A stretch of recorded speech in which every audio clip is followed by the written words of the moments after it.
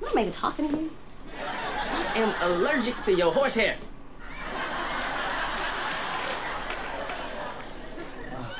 Marcus, I am so sorry. Marcus, uh, we better get over to Angela's.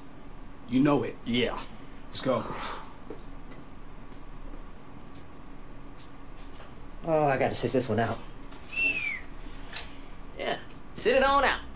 Just like you sat out that prenup. Probably should have got in the game on that one.